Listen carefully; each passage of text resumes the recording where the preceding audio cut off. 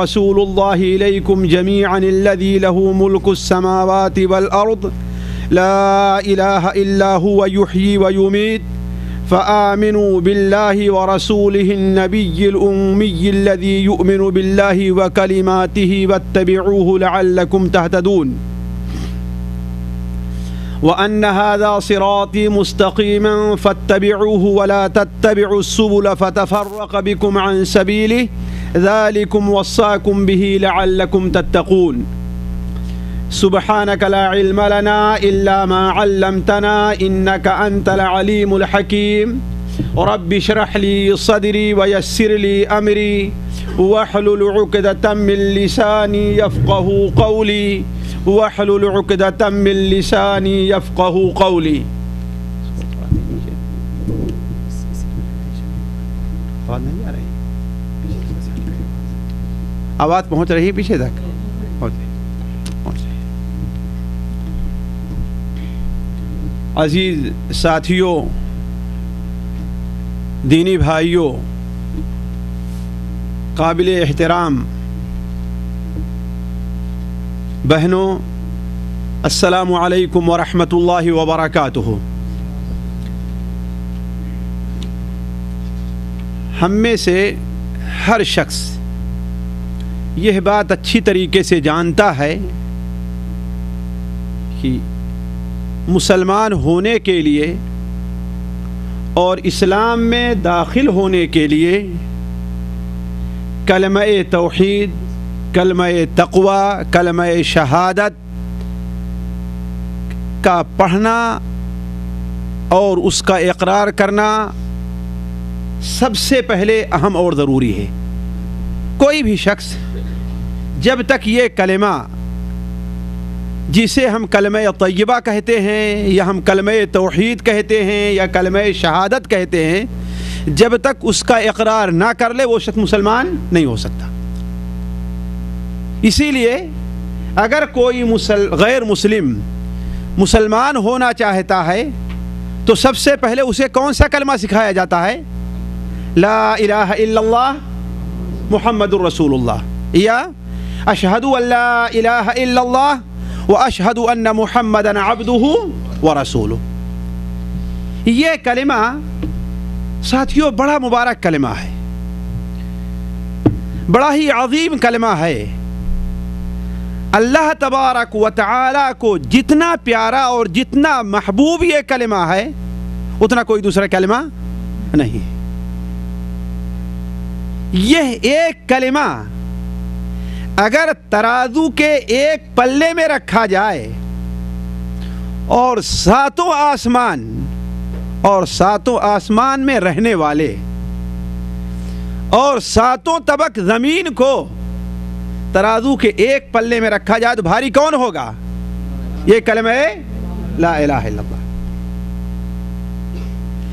यह कलमा कोई भी शख्स अल्लाह की रजा के लिए जिस दिन से पैदा होता है और अपनी मौत के आखिरी लम्हे तक अगर अल्लाह के लिए अपनी नाक को रगड़ता रहे और इस कलमे का इकरार ना करे तो जन्नत में नहीं जा सकता। जा सकता है? नहीं जा सकता। तो यह कलमा इतना अजीम है। यह कलमा इतना अहम है। लेकिन साथियों ये कलमा हमारे और आपके लिए या किसी भी शख्स के लिए मुफीद उस वक्त होगा कि जब इस कलमे के कुछ शराइत हैं, उन्हें पूरा किया जाए तो। वरना सिर्फ़ ज़ुबान से पढ़ लेना, दिल से सिर्फ़ मान लेना, ज़ुबान से उसका इकरार कर लेना यह कलमा कोई छू मंतर नहीं है, कोई टोना या टुटका नहीं है कि इंसान के लिए मुफीद और कामयाब भी कसबा बन जाएगा नहीं। ज़रूरी यह है कि उसके लिए जो शराइत है, उन शराइत को पूरा किया जाए। उन्हीं शराइत में से मैं इस कलमे के शराइत आपके सामने नहीं बयान करना चाहता। वो किसी दूसरी मजलिस का हिस्सा है और मशाइ और आपके सामने दुआत, ये कलमा के शराइत बयान किए होंगे।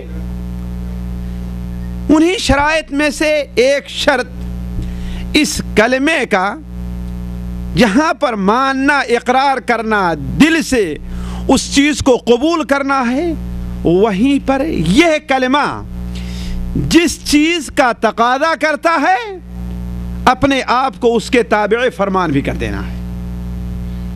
अगर कोई शख्स इस कलमे का दिन भर में हज़ारों बार विरद करे, तस्बीह पर इस कलमे को चौबीसों घंटा पढ़ता रहे, लेकिन यह कलमा जिस चीज़ का तकादा करता है, उस चीज़ को पूरा ना करे तो कोई इंसान मुसलमान नहीं हो सकता। जरा सोचें। अल्लाह के रसूल सल्लल्लाहु अलैहि वसल्लम के चचा, हज़रत अबू तालिब का नाम आप लोगों ने बार बार सुना होगा, है ना? वो दिल से मानते थे कि मेरा बेटा सच बोल रहा है। जो दावत लेकर के आया है वो हक है। और ज़ुबान से बसा औकात उसका इकरार भी कर लिया। जैसा कि एक शेर, उनका नकल किया जाता है कि वलकद आलिम तो अन दीन मिन खैर बरीयत दीना। मैं मानता हूँ, मैं ये जानता हूँ कि मोहम्मद अल्लाह मोहम्मद, उनका जो दीन है, दुनिया के तमाम दिनों में सबसे बेहतर है। लेकिन ये बताइए आखिर क्या कमी रही कि वो जन्नत में नहीं गए? क्या कमी रही? कमी यही रही कि ये कलमा जिस चीज़ का तकादा करता है, उस तकादे को पूरा नहीं किया। यानी ये कलमा हमसे और आपसे इस बात का मुतालबा करता है कि हम सिर्फ़ यही ना माने कि अल्लाह तबारक व अकेले इबादत के लायक है, बल्कि उसकी इबादत भी करें। हम ये, यही सिर्फ़ ना माने कि मोहम्मद वसल्लम सच्चे रसूल हैं, नबी बरहक हैं, सिर्फ़ यही ना माने, बल्कि अपने आप को उसकी, उनकी गुलामी और उनकी एतात और उनकी इतबा में दे दें। तो अर्ज़ करने का मकसद है कि साथियों, ये कलमा इतना अहम है, ये कलमा इतना अजीम है लेकिन इस कलमे को हमारे लिए मुफीद बनने के लिए ज़रूरी यह है कि हम और आप इस कलमे के तकादे को पूरा करें। और उस कलमे का तकादा क्या है कि हम और आप अल्लाह और उसके रसूल की इत्तेबा करें। साथियों, हम कलमा पढ़ते हैं, ला इल्लल्लाह मोहम्मद रसूलुल्लाह। इसका माना क्या है? इसका माना क्या है? हर आदमी जानता है उसका माना? जी। शख्स को मालूम है कि नहीं मालूम है? कि अल्लाह के अलावा कोई इबादत के लायक नहीं। और मोहम्मद सल्लल्लाहु अल्लाह के रसूल है, सल्लल्लाहु अलैहि वसल्लम, है ना? इसी को दूसरे अल्फाज में आप ये कह लीजिए कि हम इबादत तो अल्लाह की करेंगे और तरीके पर रसूलुल्लाह के करेंगे। है यही बात सही कि नहीं सही बात? हम इबादत तो अल्लाह की करेंगे? और तरीके पर किसकी करेंगे? रसूलुल्लाह सल्लल्लाहु अलैहि वसल्लम साथियों, सारा मसला दीन का बस इसी में महसूर है। यही हमारे तमाम मसाइल का हल है। और इसी चीज़ की थोड़ी सी तफसीली तौर पर वजाहत के लिए इसी का मुझे हुक्म दिया गया है कि आया अपने को अल्लाह के रसूल सल्लल्लाहु अलैहि वसल्लम या दूसरे अल्फाज में कलम रसूलुल्लाह, की एक शर्त जो इतबा है, इनकियाद है, ताबेदारी है, पैरवी है, इसकी अहमियत को आपके सामने थोड़ी सी हम वादे करें। देखिए साथियों, मैं एक और बात बता दूँ।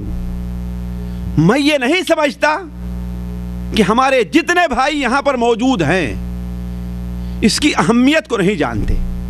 जानते हैं और समझते हैं।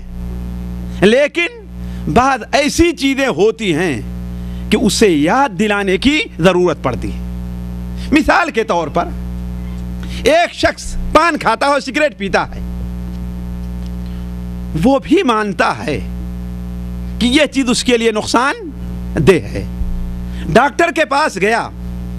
डॉक्टर ने कह दिया कि अल्लाह के बंदे, ये पान ये सिगरेट तुम्हारे लिए बड़ा ही खतरनाक है। और ये देखो, अब कैंसर के आसार ज़ाहिर हो रहे हैं। हालाँकि वो मानता है कि कैंसर का सबब बनता है, लेकिन ज़रूरी है कि उसे कोई मदीद मुतनबे करे। अब डॉक्टर यहीं पर मुतनबे कर देता है तो वो चौंक जाता है, भड़क उठता है, और उसे फ़ौरन छोड़ने के लिए तैयार हो जाता है। तो मैं ये नहीं समझता कि आप लोग इसकी अहमियत से ना वाकिफ हैं। वाकिफ हैं। लेकिन थोड़ी सी तंबी और थोड़ा याद दिलाने की ज़रूरत है और मैं उसी लिए आपके सामने हाजिर हुआ हूँ।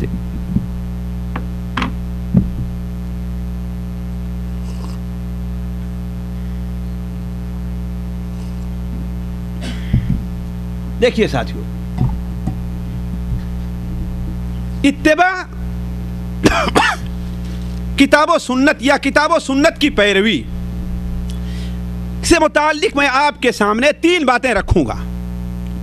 और मैं ये समझता हूँ कि ये तीन बातें, जब इत्तबाए किताब सुन्नत से मुतालिक गुफ्तगु की जाती है तो बहुत कम रखी जाती है।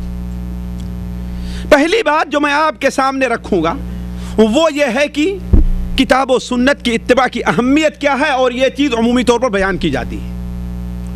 दूसरी बात यह है कि हमें और आपको जब किताब सुन्नत की इत्तबा का हुक्म दिया गया है तो किताब सुन्नत की इत्तबा में क्या क्या चीज़ें पाई जाती हैं? और तीसरी बात मुझे जो कहनी है आपके सामने कि बहुत से लोग किताब सुन्नत की इत्तबा जो नहीं करते तो उसका वज, उसकी वजह और उसका सबब क्या है? ये तीन बातें मैं आपके सामने रखता हूँ। उससे पहले ये देख लीजिए कि हम और आप ये समझते हैं कि इत्तबा किताब सुन्नत का माना क्या है। देखिए इतबा बना है तबा से, जिसके माने क्या होता है? पीछे चलना। यानी एक शख्स चल रहा है और दूसरा उसके पीछे पीछे चल रहा है तो क्या करेंगे? कहेंगे, ये उसकी इतबा कर रहा है। ये उसकी इतबा कर रहा है। तो गोया रसूल की इतबा का क्या माना है? कि रसूल जिस चीज़ का हमें हुक्म दे रहे हैं, हम उसको मान रहे हैं और उसी तरीके पर हम चल रहे हैं। किताब की सुन्नत की तबा का क्या माना है? कि कुरान मजीद हमें जिस चीज़ का हुक्म दे रहा है, जो रास्ता हमें बता रहा है, हम उसी रास्ते के ऊपर चल रहे हैं। यही चीज़ है इत्तबा। और इत्तबा का हुक्म साथियों, मुख्तर तौर पर यह समझ लें कि वाजिब है। बगैर इतबा के कोई शख्स मुसलमान नहीं हो सकता है। जिस कदर इतबा में कमी पाई जाए